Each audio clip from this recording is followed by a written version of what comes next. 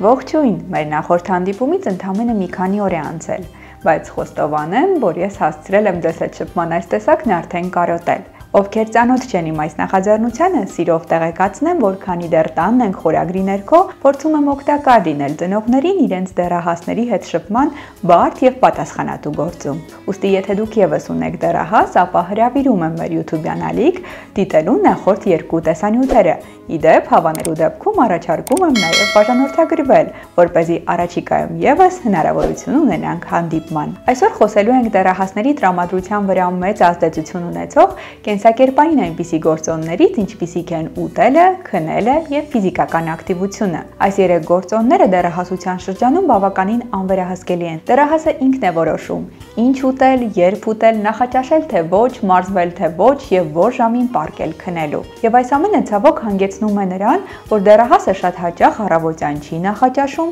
ցերեկն ուտում է անառողջ ծնունդ, ֆիզիկապես ակտիվ չէ, գիշերը շատ ուշ է պարկում քնելու։ Եվ ինչը շատ կարևոր է, առավոտյան արթնանում է առանց կենսաուժի եւ վատ տրամադրությամբ։ Իդեպ գիտականորեն ապացուցված է, որ տրամադրության հետ հաճախակի խնդիրներ ունեցող դեռահասների 71%-ի մոտ արկա են քնի խանգարումներ։ Մի հանգամանք եւս դեռահասության շրջանում այդ ներքին կենսաբանական ժամացույց անվամբ ցիրկադիան ռիթմ ասվածը հաճախ է փոփոխվում, ինչն ակտիվորեն ազդում է դեռահասի քնի որակի եւ տևողության վրա։ Դեռահասը միջինում պետք է քնի 8-ից 10 ժամ, եւ որ շատ կարեւոր է, պետք է հետևի քնի հիգիենայի բոլոր կանոններին, ինչը շատ հաճախ չի պահպանվում։ Սիրելի ծնողներ, որպեսզի հասկանաք, թե ձեր դեռահասը ունի քնի հետ կապված խնդիրներ թե ոչ եւ որքանով է նրա քունն արդյունավետ, կարող եք առաջարկել կամ համոզել նրան, որպեսզի մեկ շաբաթով նա քնի օրագիր պահի։ Իդեպ կարող եք աջակցել ձեր դեռահասին եւ բարձել ձեր քնի արդյունավետության գործագիծը։ Դրա համար անհրաժեշտ է ընդամենը թուղթ եւ գրիչ։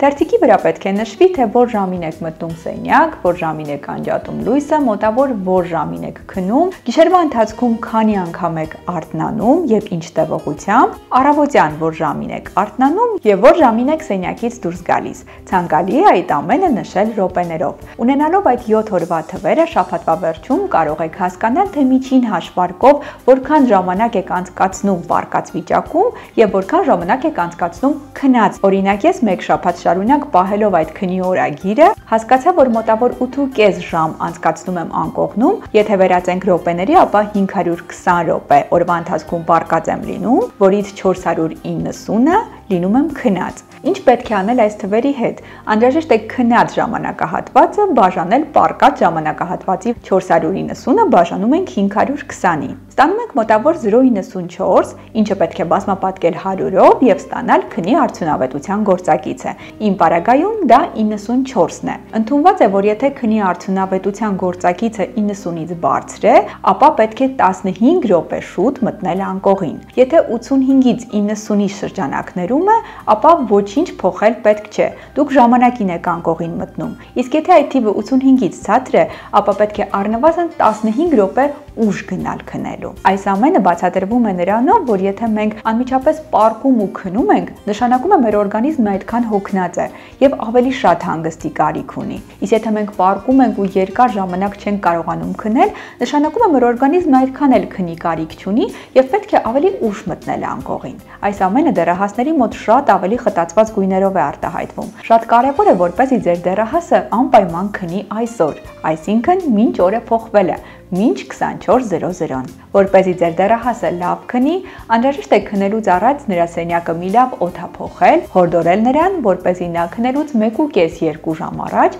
հրաժեշտ տա իր հեռախոսին եւ համակարգչին, նույն տրամաբանությամբ նաև շոկոլադին եւ զովացուցիչ ըմպելիքին, ու նաև կարելի է խրախուսել նրան, որպեսզի նա քնելուց առաջ տաք ցնցուղ ընդունի։ Դա հրաշալի տարբերակ է նաև քնելուց առաջ լվանալու օրվա ընթացքում կուտակված բացասական էմոցիաները։ Վերադառնանք շոկոլադին եւ զովացուցիչ ըմպելիքին։ Մեր դեռահասները ունեն առողջ ծնվելու հետ կապված շատ լուրջ խնդիրներ, ինչը բնականաբար շատ վատ է անդրադառնում ինչպես նրանց տրամադրության, վարքագծի, այնպես էլ առաջադիմության եւ կենտրոնացման վրա։ Սիրելի ծնողներ, պետք է անեք հնար հնարավոր է ամեն ինչ, որ เป զի ձեր դեռահասը առավոտյան նախաճաշի։ Դա շատ կարևոր է օրը լավ սկսելու եւ օրվա ընթացքում կենսաուժ ու լավ տրամադրություն ունենալու համար, ինչը շատ հաճախ չի արվում։ Եվ միայն առողջ նախաճաշով պետք չէ սահմանափակվել։ Օրվա ընթացքում եւս դեռահասի սննդակարգը պետք է համեմված լինի վիտամիններով եւ հանքանյութերով հարուստ մթերքներով։ Դեռահասի ամենօրյա սննդակարգում պետք է արկա լինի թարմ միրգ եւ բանջարեղեն, ամբողջահատիկ հասահատիկներ, ընկուզեղեն, կատնամթերք,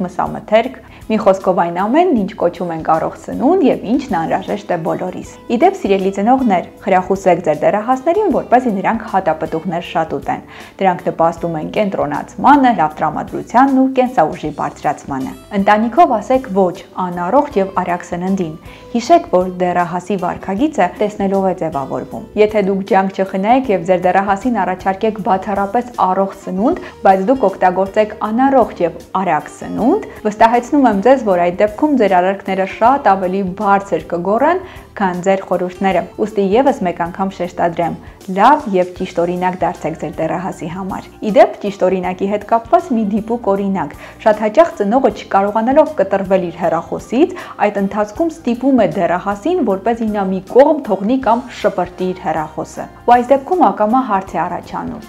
Սիրելի ծնող, ինչ եք կարծում, ինչպիսին պետք է լինի ձեր դեռահասի արձագանքը։ Մի շատ լավ արտահայտություն կա՝ միշտ ապեք դաստիարակել ձեր երեխաներին։ Միևնույնն է, նրանք նմանվելու են ձեզ։ Դեռահասության շրջանում եւս այս ճշմարտությունը շարունակում է մնալ իր իրավունքներում։ Ոստի հետևեք ձեր վարքագծին, որ เป զի ձեր դեռահասի վարքագիծը ձեզ չբարկացնի։ Հերախոսասիրությունն ու հերախոսակախվածությունը բնականաբար նպաստում է հիպոդինամիայի զարգացմանը, ինչու շարժվել, եթե կարելի է նստել եւ ընկղմվել հերախոսի մեջ։ Ֆիզիկական ակտիվությունը չկարևորելն իսկապես շատ լուրջ եւ կարևոր խնդիր է, որին անդրադառնալու եմ մեր հաջորդ հանդիպման ընթացքում։ Եթե հարցեր ունեք, կարող եք թողնել մեկնաբանության հատվածում։ Բոլորիդ մեծագույն սիրով կպատասխանեմ։ Իդեպ առաջարկում եմ նաև բաժանորդագրվել մեր YouTube-յան ալիքին, որպեսզի կարողանանք հաճախ հանդիպել։ Առողջ եղեք, տանը մնացեք եւ փորձեք լավ օրինակ դառնալ ձեր դեռահասի համար։ Կհանդիպենք շատ շուտով։